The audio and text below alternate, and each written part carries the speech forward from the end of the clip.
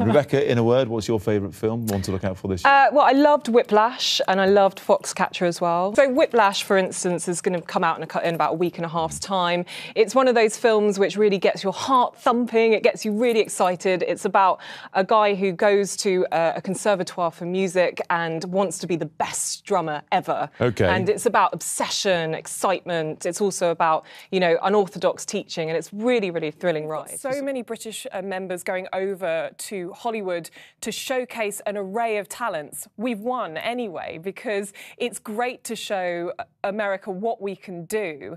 And if we have one of them win, then fantastic. But we didn't just have one of them win. We won in so many different categories with lots of different Brits picking up awards. And I think it's really positive. I think that this is going to be Fifty Shades of Yay. I think whatever the critics say, this is already tipped to be the highest grossing film of the year. Fans of the books will be going in their droves to see whether or not Christian Christian Grey lives up to expectations on the screen. It's going to be full of intrigue for anyone that just wants to see what a steamy book adaptation can look like, and I think it will do well. Clooney, though, paid tribute uh, to his new wife Amal. Was about that? I'm sure she was She's very, very happy. reserved, though. But I mean, that, he was getting a lifetime achievement award mm. there. We're not used to seeing him giving those public displays of affection, are yeah. we? Really? I think it actually really hits him throughout the whole speech. He's very humble throughout it, and he's you know trying to pick out those light moments of joking with his colleagues, just to maybe save himself from you know cracking up a little bit and having a bit of a tear because it did look like he was on the verge of that. But it's lovely, you know. He is in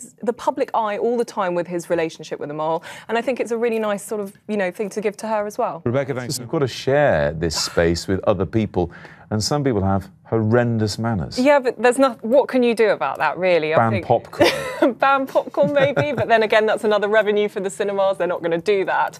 I think there are far too many platforms out there for us to watch, you know, movies on. You've, like you said, you know, you've got viewing platforms like Netflix. Wait a few months and maybe it will be on there. So why then pay such a high price to go to the cinema?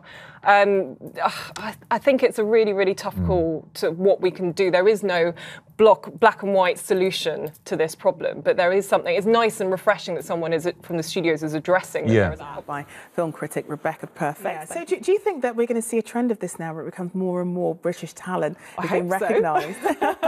I mean, why not? We are yeah. churning out fantastic talent, not only in film but television as well. We're being recognised for our strong roots in acting. You know, someone like Eddie Redmayne, he's been doing it for years. He's been treading the boards. He's been on TV. He's been on film. He's not come out of nowhere. Yeah. And now he's up in the Oscar race as one of the front runners. Couldn't be better. Oh. Well, I'm joined now by film critic Rebecca Perfect and. Uh, all the money seems to be on Eddie Redmayne, doesn't it, for best uh, best actor? Yeah, and it's great to see a fantastic array of British actors, you know, heading to Hollywood for the Oscars.